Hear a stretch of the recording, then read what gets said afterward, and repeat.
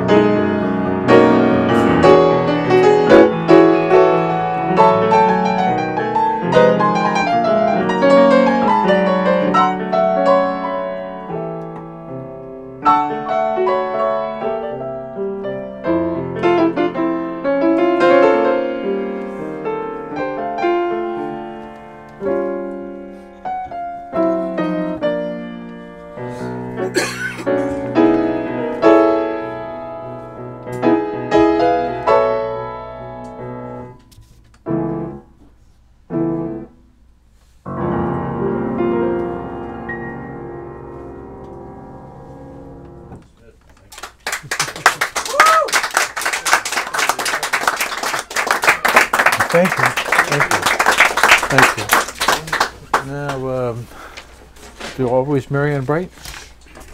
Does seem okay? Seems appropriate. All right, good. After that dirge-like uh, beginning, yeah. And uh, Always Merry and Bright was written uh, for, uh, dedicated to Henry Miller. And uh, Always Merry and Bright was uh, a slogan that he uh, liked to use about his philosophy. And I thought uh, it's Father's Day. And I thought uh, how to tie that in, uh, always Merry and Bright and Henry Miller, and I thought that uh, Henry Miller is the father of the Beat Generation, and uh, fa- who's also the father of the Beat Generation, is the father of the, the hippies. So uh, he's our patriarch in uh, some kind of obscure uh, way. uh, and uh, so I don't know if um, so everybody ought to check that out. All right, here we go. It's not gonna be a Hallmark card, but. We can debate that later. All right. Thank you.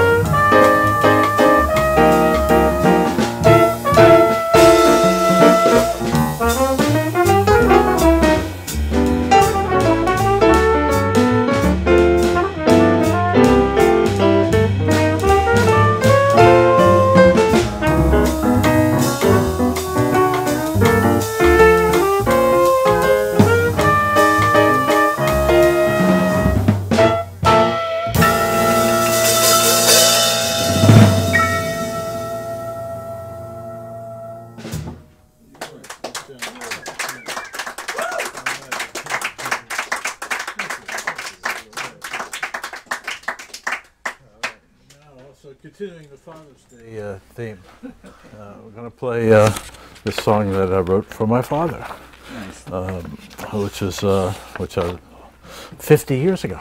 Wow. Pretty uh, ancient. This was an ancient song from the old the old days.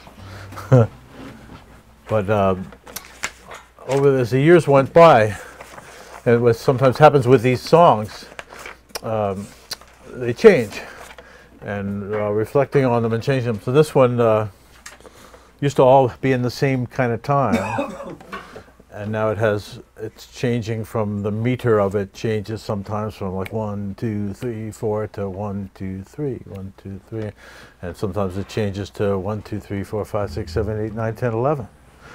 so so you can there's some things to listen for, and there's a set there's a measure of seven in it too, but. Um, so that's uh, an extra thing to listen for or to pay no attention to. yeah. So Therefore, the times are changing. there we go. Times are changing. There we go. So, uh, all right. Um, solo on the whole form. Okay.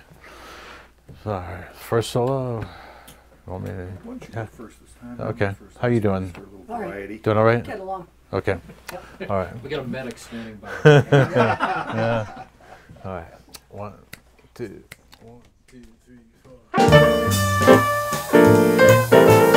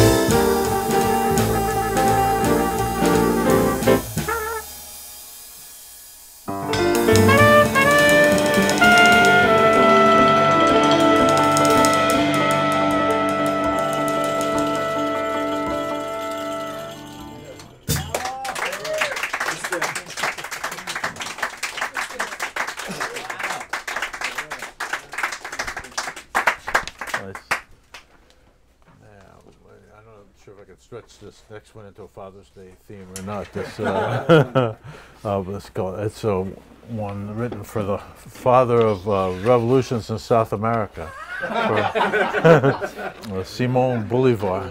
Uh, and I've, I played this one before. I think, it, it, yeah. Oh, how nice! And I, I was, um, I was, I, I lost it. No, here it is. I, I made some notes about Bolivar that I didn't really know that I thought are worth saying because I've, s- played this song before and didn't really have enough information. Simon Bolivar um, fought in, I don't know how they really counted, but it's, it's, so it's a Wikipedia number, 472 battles. And uh, two thirds of which they said were major. And he rode on horseback, they estimated 123,000 kilometers in his uh, career. And then in also, uh, that's 10 times more than Hannibal uh, covered. And it's three times more than Napoleon covered, who went from France to uh, Egypt and to Moscow, and twice as much as Alexander the Great went. But he wasn't conquering, he was uh, liberating. So it's to give him more credit, I think, liberating from the Spanish and the Europeans. and uh, he ousted rulers from Ecuador, Peru, Bolivia, and Colombia. And the, the subtitle of this song uh, is uh, called Broken, Bolivar Broken Dreams. And the Broken Dreams part, he said at the end of his life that uh, um, everything that he had been done was like plowing the sea. He thought it, didn't really, nothing had happened yet. But it's still, um, jury's out still. the Bolivarian Revolution continues. And we're going to play this song anyway. So, hmm.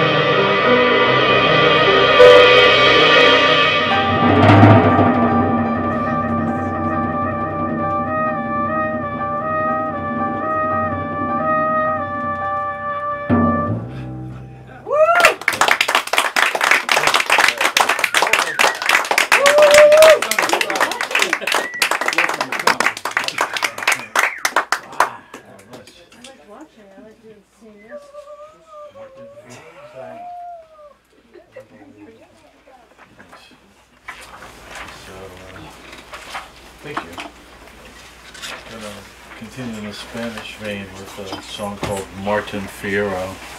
Oh, you're making me happy. All right. Hey, hi. And uh, Martin Fierro is, uh, is a Argentine uh, epic written in the 1850s uh, by Jose Hernandez. And uh, anybody who hasn't read it yet should really check it out. It's a wonderful story, poetically written. Uh, the hero is a musician as well as a gaucho farmer type. And uh, we're going to play it for you now. So,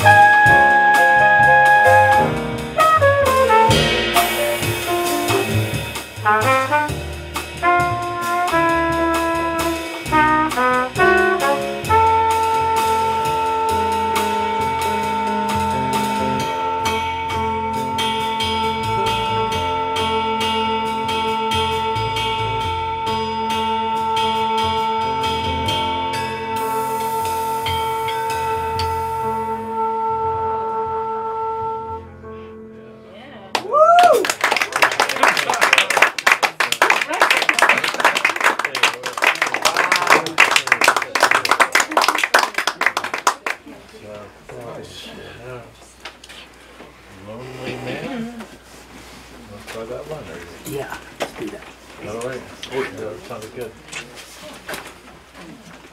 So this we could do like we did before, play the trumpet melodica. Or do you want to just do it? uh, some- I like, I like that a lot. Okay. Yeah, I come back and, and read it next year. The next tune we're doing is um, a new song called uh, "Lonely Man."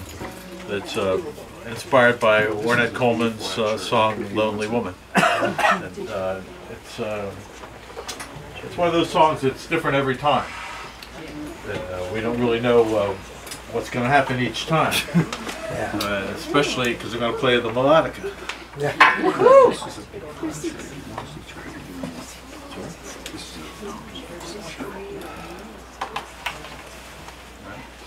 Sight transpose. Yeah, so it's right. Yeah. All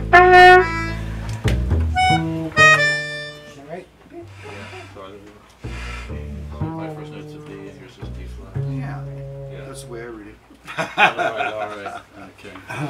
So we'll do it together and then the drums and bass come in. Okay. So I'll follow you.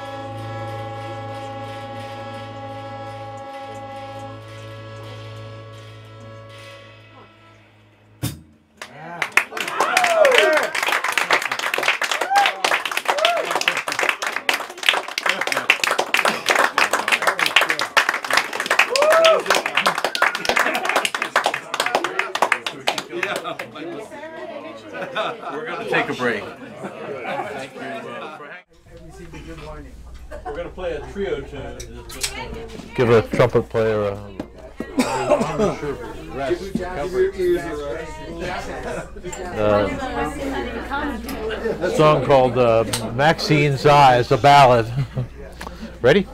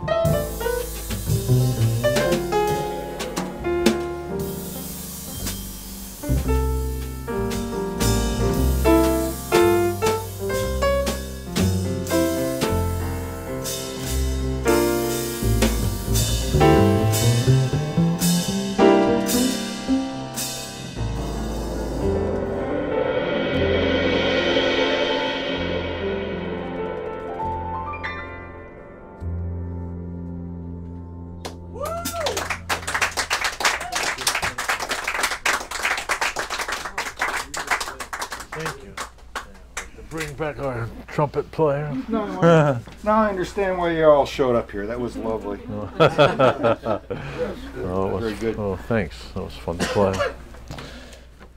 Now we're going to play um, um, a song called Sare Sasa, which is a uh, mantra. Uh, it's in Kundalini Yoga. It's a, it's one of the they call it. It's one of the uh, primal.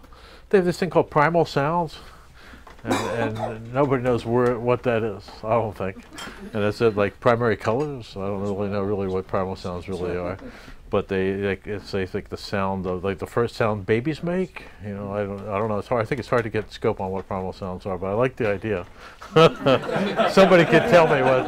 I've, I've like I don't really quite get it, but um, they say that the Sare Sasa mantra is the key to. Um, happiness and, and all the other mantras. So okay, it's the first one to learn. And I, this one thing I read about it so by this guy Yogi Bhajan said that uh, you could have um, you could have prosperity and happiness even if you were a scoundrel. if you just say this mantra. So uh, there you go. He's- it's everybody. Yeah, that's really. See that, Pete? There's hope for you. Yeah, you can just have to say this like a magic formula. so we're gonna. Uh, so. We don't. This is an 11. Yeah, that's eleven. That's right. Yeah. Yeah, you should. Yeah. Yeah. beats to the minute. Tell them, tell them about 11 something. Should I? Or do you One want less to tell them? Twelve. You want to tell them? Let's hear about it. 11 uh, so instead of usually in north american music is one is in four- all in 4-4 and uh, european music mostly it's all in 4-4 sometimes in 3-4 like 1 2 3 4 1 2 like with the swinging uh, 2 and 4 accented mostly in north american music and or jazz anyway and rock is is 4-4 but accents usually are on 1 and 3 like one, two, three, four. One. You were just doing it, you know. You were saying rock, about the rock, and the jazz typically has a two and four, and eleven is like um, um, one, two, three, one, two, three, one, two, three, one, two, one, two, three, one, two, three, one, two, three, one, two. So it's like uh, a waltz with a limp. huh. I'm sorry, but. Uh, but it's a very uh, cool time because it, it's complex. Eleven is a higher number, so you can sound like it can be almost like six and five, or you can divide it up in different ways. So it, it offers complexities, and it's um, usually it shows up in uh, on Earth in North Africa and in Greece and Turkey, and uh, that's it. But I think it's it's a great time, and uh, and it- there's a sort of a movement to play it play it more often. I think in in so-called jazz. So we're going to try our best to keep it straight, and uh, and we, we maybe we will. Uh, but we, we got this um, cool introduction, all right? And we'll get out of the tune the same way. Okay.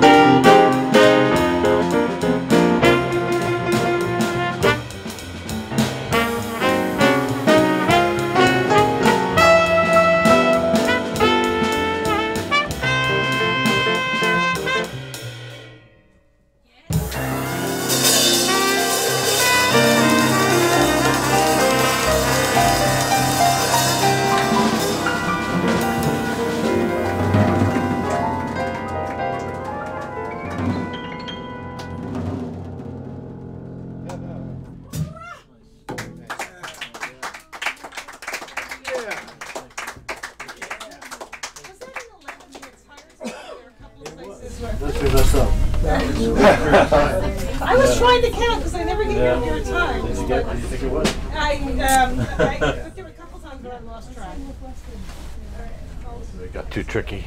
Yeah. Want to do um, fulfillment or another uh, up tune or one for Richard? Uh, let's see. Let's do fulfillment. Okay, It's a change up. right? that's what I thought. Yeah. Yeah. Yeah, I can do a slower, um, more abstract piece called fulfillment. What? Us do something abstract?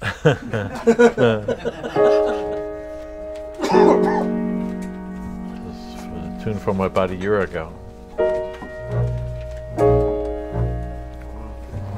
So it starts with piano, and then we'll do it uh, as a group and then solos. Okay.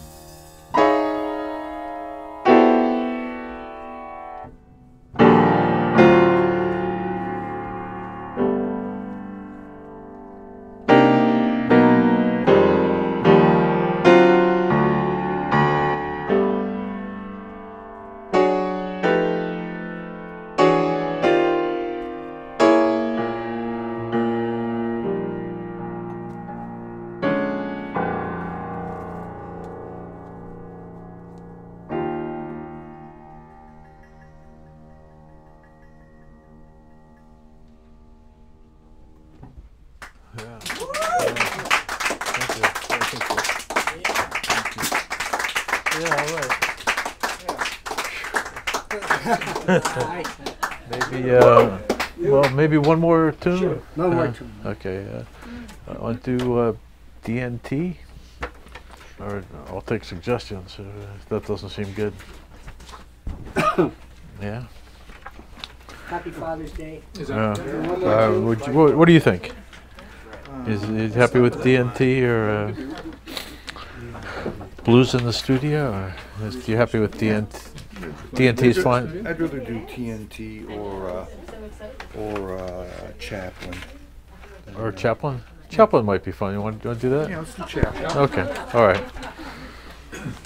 So our last tune of the evening, we're going to play uh, a song uh, for one of my heroes, Charlie Chaplin, called Chaplin. And this tune uh, goes through a lots of different uh, chord changes and uh, time changes. And, and then it settles in 11 again. But um, yeah, we hope you en- enjoy Chaplin. Next time we do this, we're gonna put a screen. Yeah, I think that's a great idea. gonna Yeah. Old Chaplin in silence. Yeah. that would be great. Yeah. It's the next plan. Where are you gonna set that up? Who knows? In front of us. Just not too, not too fast. How- how- What do you think? Is That all right? Yeah. Okay, one, two. Let's count to four, and then we'll do that. One, two, three, four.